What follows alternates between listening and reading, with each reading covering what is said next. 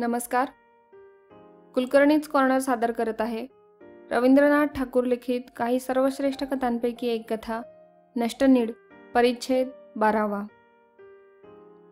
या मुदतीत वर्तमानपत्र बंद करावे लागले होते. त्याचा खर्च चालवणे भूपतीला अशक्य झाले होते. बहुजन समाज नावाच्या ज्या एका भल्या मोठ्या निर्दय पदार्थाच्या साधनेसाठी गेली कित्येक वर्षे भूपतीने रात्रंदिवस निष्ठेने सेवा चालवली होती. ती त्याच घटकेला विसर्जन करावी लागली. भूपतीच्या आयुष्यातले जे सारे प्रयत्न ठराविक मार्गाने गेल्या दहा बारा वर्षात अविच्छेद चालले होते ते एकाएकी एका जागी पाण्याच्या डोहात बुडून गेले. या प्रसंगाला तोंड द्यायची भूपतीची तयारी नव्हती. एकाएकी आपत्ती आल्यामुळे इतक्या दिवसांचे सारे उपद्व्याप तो कुठे पुन्हा कामी लावणार होता?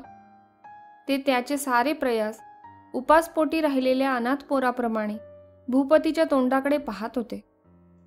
भूपतीने त्यांना आपल्या अंतपुरातील ममताळू आणि शुश्रूषापरायण अशा स्त्रीच्या समोर आणून उभे केले. ती स्त्री त्यावेळी विचार करीत होती. म्हणत होती काय आश्चर्य आहे? अमलचं लग्न होतंय ते ठीकच होतंय. पण इतक्या दिवसांनी आम्हा लोकांना टाकून दुसऱ्या घरी लग्नाचं नातं जोडून विलातेला जावं लागणार म्हणून त्याच्या मनात एकदा सुद्धा कशी खळबळ उडाली नाही. इतक्या दिवसात आम्ही त्याला इतके प्रयास करून राखला आणि आता निरोप घ्यायची एवढीशी सवड मिळताच तो कसा कंबर कसून तयार झाला? तो काय इतके दिवस याच सुसंधीची वाट पाहत होता का? आणि बोलत होता किती गोड गोड केवढं ते प्रेम? माणसाला ओळखणं कठीण खरं. जो माणूस इतके लेख लिहितो त्याला काळीजच नव्हते हे कुणाला कळलं होतं? स्वतःच्या भरपूर वात्सल्याशी तुलना करताना चारू अमलच्या या बिनकाळजी वृत्तीकडे दुर्लक्ष करण्याचा बराच प्रयत्न करीत होती. पण ते तिला जमले नाही. आतून आतून सारख्या कसल्या तरी वेदनेच्या उद्वेगाचा तापलेला सूर तिच्या अभिमानाला डिवचून डिवचून जागवित होता. अमल आज उद्या निघून जायचा. तरी पण इतक्या दिवसात भेटला सुद्धा नाही. आमच्यात जे एकमेकांबद्दल मनोमालिन्य उत्पन्न झालं आहे ते मिटवून टाकायला वेळच मिळाला नाही. चारू हर घडीला म्हणत होती अमल आपणहून येईल.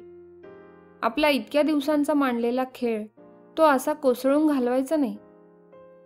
पण अमल त्यावर आलाच नाही. शेवटी निघायचा दिवस ज्यावेळी अगदी जवळ आला त्यावेळी चारूने स्वतःच अमलला बोलावणे पाठवले. थोड्या वेळात येतो असे अमल म्हणाला. चारू त्या त्यांच्या नित्याच्या भरांड्यावरच चौकीवर जाऊन बसली. सकाळपासून आकाश ढगाळलेले होते. चारूने आपले मोकळे केस झाडून गाठ मारली आणि एक पंखा घेऊन ती थकून जाऊन हळूहळू वारा घेऊ लागली. कितीतरी वेळ निघून गेला. हळूहळू तिच्या हातातला पंखा चालेनासा झाला. ती संतापली होती. दुःखाने उतावळी झाली होती. ही सारी खळबळ तिच्या हृदयात उसळली होती. तिला वाटले न येईना का अमल? काय बिघडलं त्यात?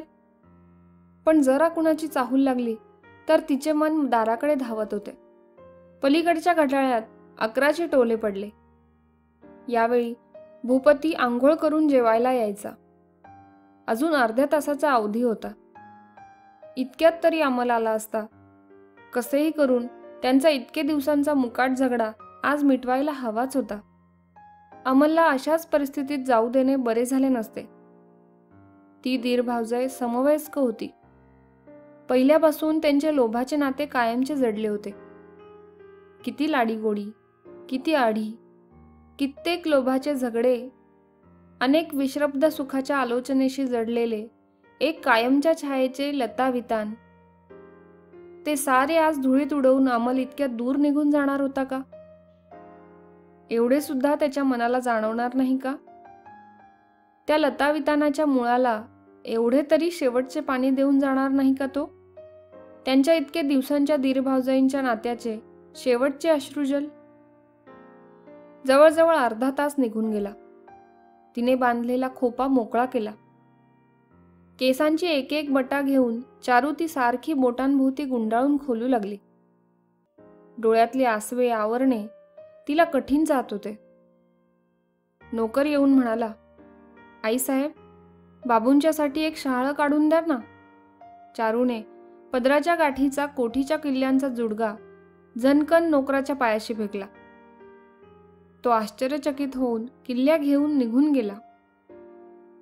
चारूच्या हृदयातून असाच कसला तरी उमाळा कंठापाशी येऊन भिडत होता. ठरल्या वेळी भूपती हसत हसत जेवायला आला. हाती पंखा घेऊन चारू मांडलेल्या ताटापाशी आली आणि पाहते तो अमल भूपतीबरोबर आला होता. चारूने त्याच्याकडे पाहिले नाही. अमलने विचारले मला बोलावलंस का वहिनी? नाही आता काही जरूर नाही. अमल म्हणाला तर मग मी जातो. बरंच सामान सुमन बांधायचंय मला. सळसळत्या नजरेने चारूने त्यावेळी अमलच्या तोंडाकडे पाहिले. ती म्हणाली जा. एकदा चारूच्या तोंडाकडे नजर टाकून अमल निघून गेला. जेवण झाले म्हणजे भूपती काही वेळ चारूपाशी येऊन बसत असे. आज देवघेव आणि हिशेब टिशेबाच्या भानगडीत भूपती फार गुंतून गेला होता. त्यामुळे अंतपुरात फार वेळ बसणे अशक्य झाल्यामुळे तो थोडासा खिन्न झाला होता. तो म्हणाला आज मला फार वेळ बसायला सवड नाही. आज फार भानगडी आहेत. चारू म्हणाली तर मग जा ना. भूपतीला वाटले चारू रागवली. तो म्हणाला म्हणजे काही अगदी आताच गेलं पाहिजे असं नाही? थोड्या वेळाने गेलं तरी चालेल. असं म्हणून तो बसला. चारू अस्वस्थ झाली आहे असे त्याला वाटले. भूपतीही अस्वस्थ होऊन बराच वेळ बसला होता पण काही केल्या बैठक जमली नाही. बराच वेळ इकडल्या तिकडल्या गोष्टी बोलायचा फुकटा प्रयत्न करीत भूपती म्हणाला अमल तर उद्या जातोय. आता काही दिवस तरी तुला खूप एकेकटं वाटेल. चारूने त्यावर काही उत्तर दिले नाही. काहीतरी आणायचे निमित्त करून ती चटकन दुसऱ्या खोलीत निघून गेली. थोडा वेळ तिची वाट पाहून भूपतीही निघून गेला. चारूने आज जेव्हा अमलच्या तोंडाकडे पाहिले त्यावेळी तिला दिसून आले की अलीकडे तो बराच थकलेला असावा.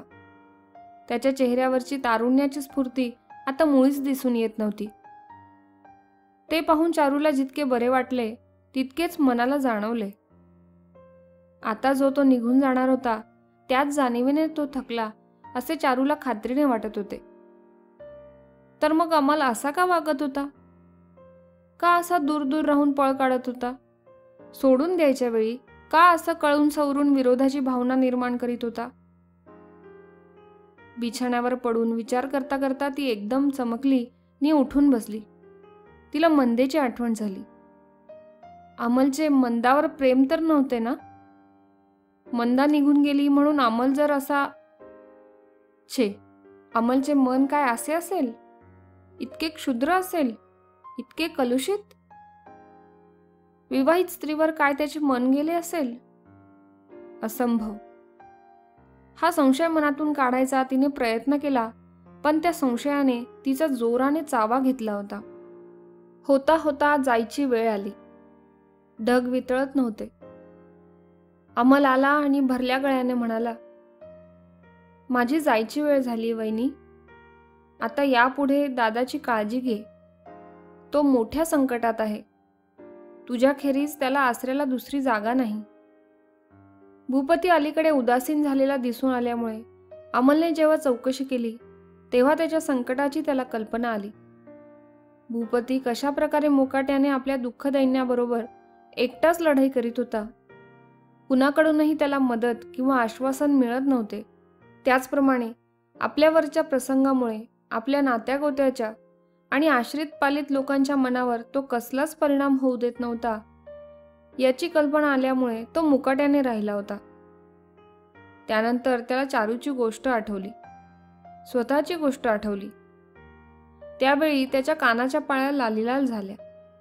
तो उल्हसून म्हणाला चुलीत गेले आषाढचे चंद्र आणि अमावस्येचे उजड. बॅरिस्टर होऊन येऊन जर दादाला मदत करायला मी समर्थ झालो नाही तर कसला मी पुरुष माणूस? गेल्या रात्री सारी रात्र जागून अमलला निरोप देताना काय बोलायचे? ते चारूने ठरवून ठेवले होते. हसरा राग आणि प्रफुल्ल औदासिन्य यांच्याद्वारे घासून पुसून तिने ती वाक्ये मनातल्या मनात घोळून मजबूत करून ठेवली होती. पण निरोप द्यायच्या वेळी चारूच्या तोंडून त्यातले काही बाहेर आले नाही. ती नुसती म्हणाली पत्र पाठवशील ना अमल? अमलने जमिनीवर डोके टेकून प्रणाम केला. चारू धावतच आपल्या शेजघरात गेली आणि तिने दार बंद करून घेतले. आपण ऐकत होतात रवींद्रनाथ ठाकूर लिखित कथा नष्टनीड परिच्छेद बारावा.